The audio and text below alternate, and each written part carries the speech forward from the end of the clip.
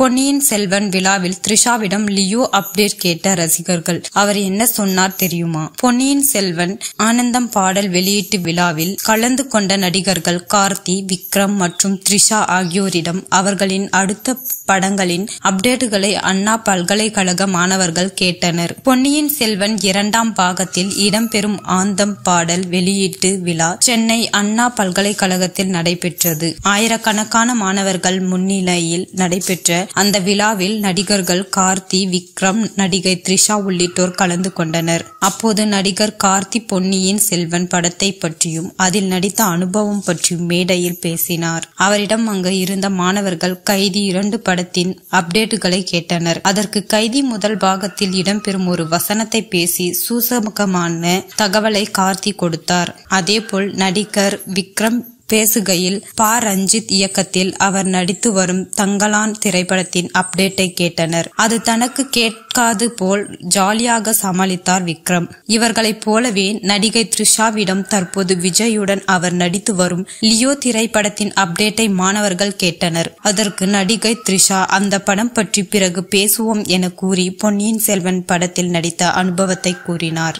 கோலிவுட் மற்றும் ஹாலிவுட் வரை அனைத்து சினிமா தகவலையும் தெரிந்து கொள்ள நம்ம கோலிபஸ் சேனலை சப்ஸ்கிரைப் செய்யுங்க ஃப்ரெண்ட்ஸ்